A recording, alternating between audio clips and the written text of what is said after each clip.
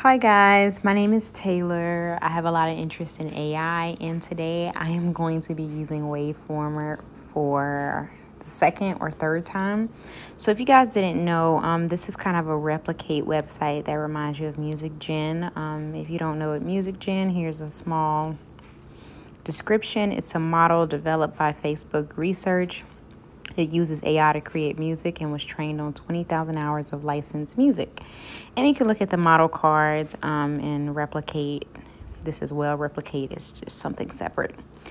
So anyway, um, they already have a prompt in here. So this is a little different than Midjourney or anything else. And basically, um, we have a drum, bagpipe, we have dissonant harmony, and then you can generate eight seconds. I'm to choose 30. I try to do more than 30 seconds, but I wasn't able to. And then you just sit and you wait.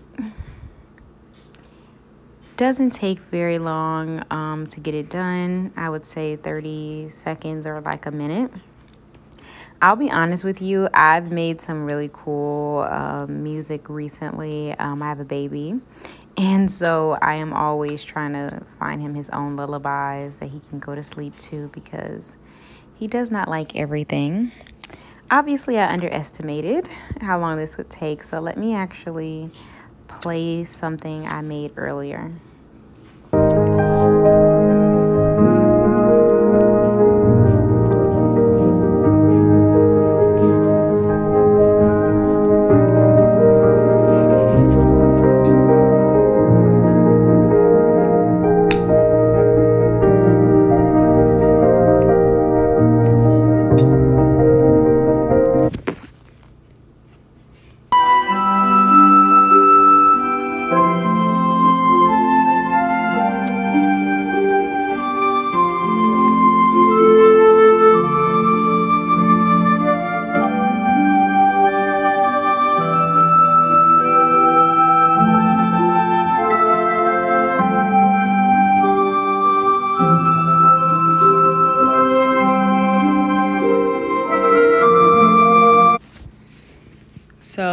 Still waiting on that music to generate. I'm excited to see what this sounds like because mines are pretty boring, but these are probably going to be more upbeat.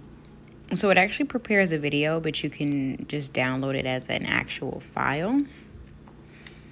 Let's see.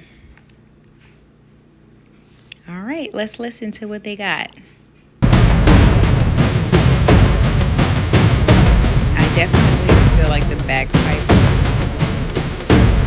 Good. You can really toy with it with your prompts. So what I actually did, I went over to chat uh, GBT and I had it put together a few prompts based on the example um, that they gave me. And um, it was pretty cool because I got to really test and see what really stays. You can definitely put the BPM in here, um, the type of instruments, um, but I would say it works better with less words and more. Uh, so let me know if you guys want to see another review of something that you probably haven't used before um, because I really enjoy this kind of stuff and I want to keep doing it.